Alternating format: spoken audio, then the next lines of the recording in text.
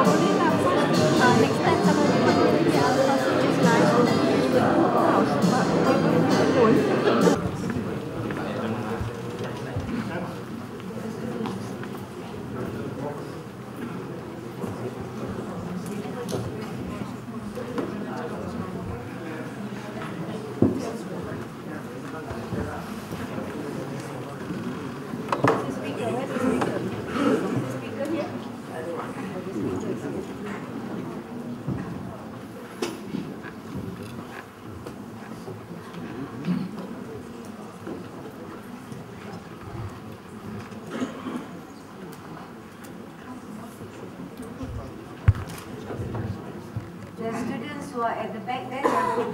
there- there's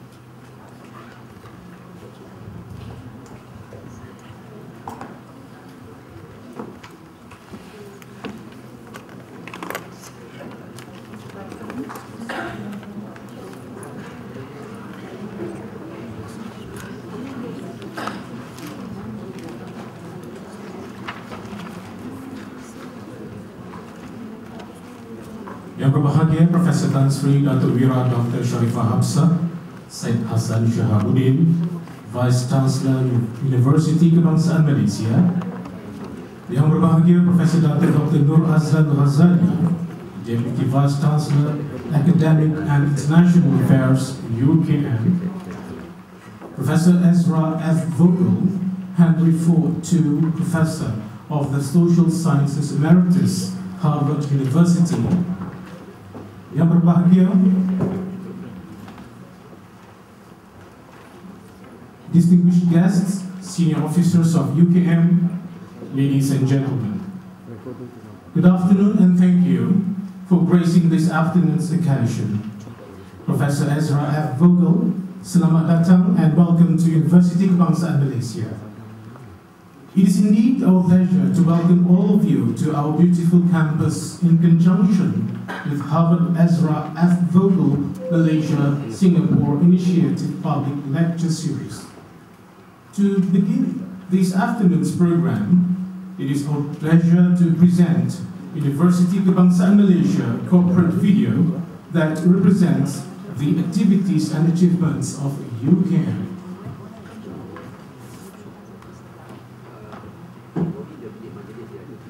不用不对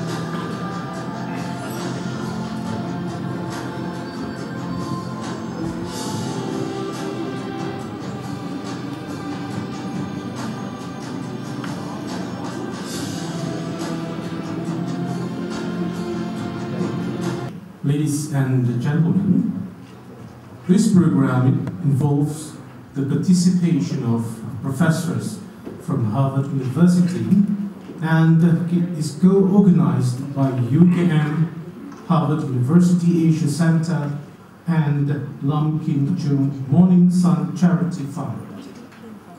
Without further ado, the floor would like to invite Yang Berbahagia Profesor Tan Sri Datuk Wira Dr. Sharifah Hapsah Syed Hassan Shahabuddin to deliver the welcoming speech.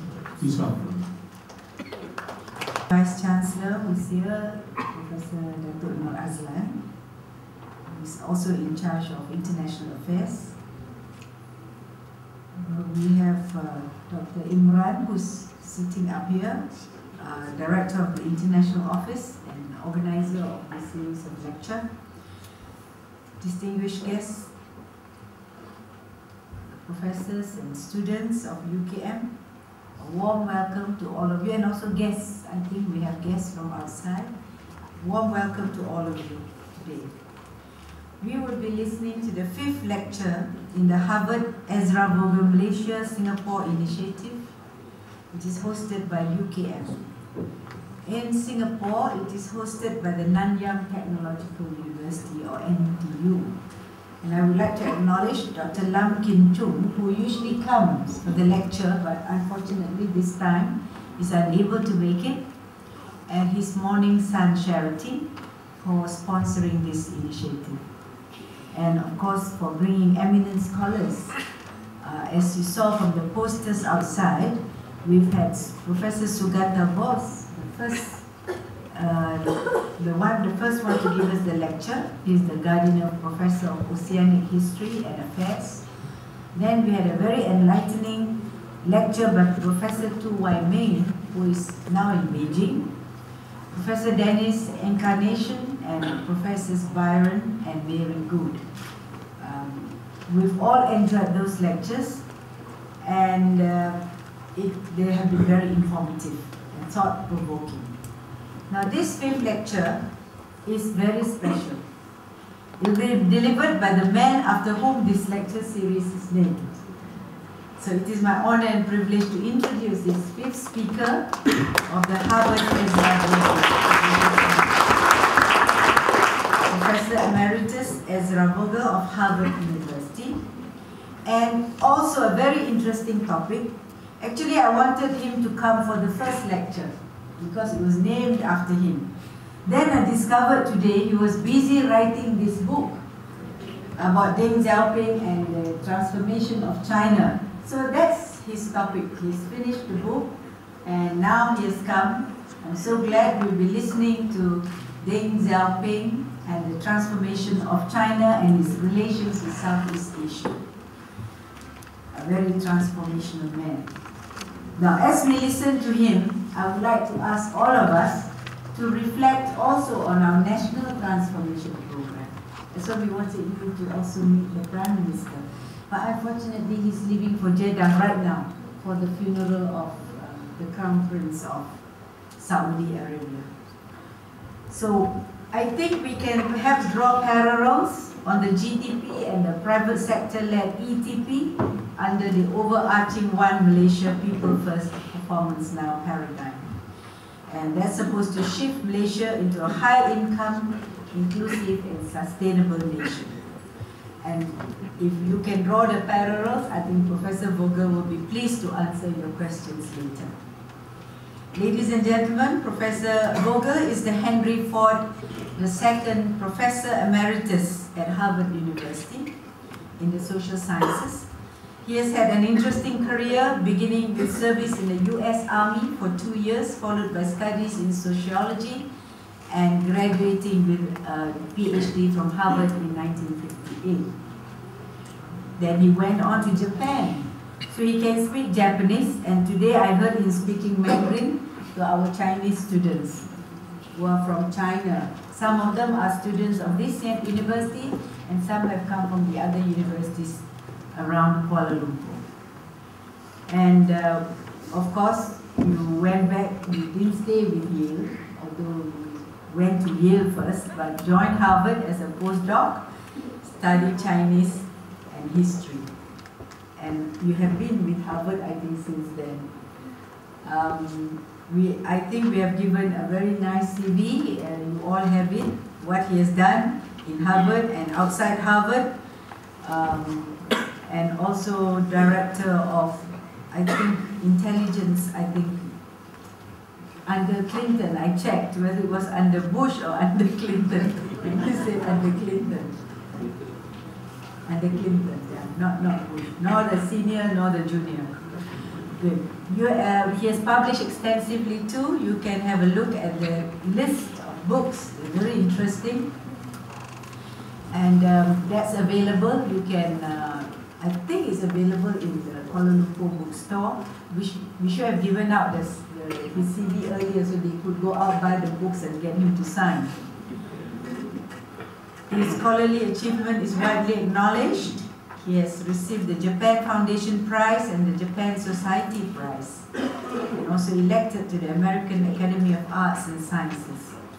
And um, his expertise was also sought by the American government, as I told you, under Clinton, when he served as National Intelligence Officer for East Asia at the National Intelligence Council in Washington. Professor Vogel is married to Charlotte, who's, who's a professor of anthropology, emeritus professor at Case Western University. And he's very proud that his three children are also teaching in universities. They closely allied, I guess, psychology, political economy, and the environment. So ladies and gentlemen, let us give a warm welcome to Professor Ezra.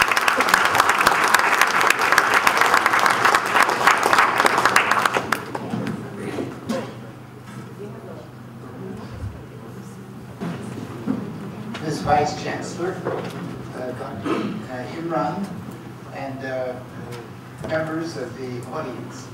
It's a great pleasure for me to be back in Malaysia, uh, to have a chance to talk to you today. I first came to uh, Malaysia a little over 30 years ago, at the time of the Look East policy, after I had written my book called Japan is Number One. And it was a great pleasure uh, to take part in your efforts uh, to learn about uh, Japan. Uh, I've had an opportunity to meet a number of your leaders and to be here several times since that time. And it's a great pleasure to be back here today. when I was retiring from Harvard University in the year 2000, I felt I had a responsibility not only to my own students, uh, but to the general Western public as well I had the, uh, at least the illusion that my book on Japan, Japan's number one, helped wake up Americans uh, to the rise in Japan and that they ought to learn more about it. Uh, I did not need to tell people today uh, that China is rising. Everyone knows that. I think the responsibility of a scholar is to try to understand better the nature of that rise and the nature of the country.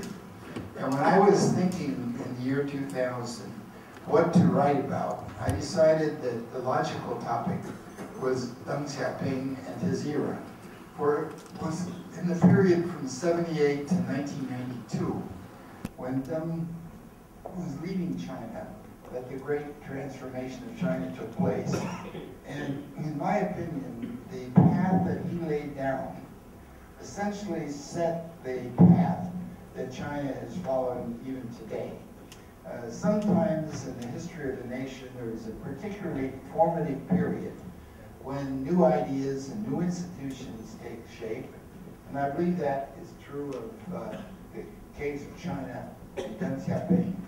What I want to do today is to, to trace briefly the history, to concentrate especially on his effort to learn about the outside world. Because Deng Xiaoping insisted on a complete opening of China and sending students abroad, sending uh, people to contact foreign businesses, encouraging foreign businesses to invest in China, opening up the country in a very wide way. Since I'm uh, giving this talk in Southeast Asia, I want to emphasize today the importance of his transformation in China for the transformation of relations uh, of China to Southeast Asia. When he came to Southeast Asia in November 1978, uh, at that time, uh, China was still a revolutionary country. And it was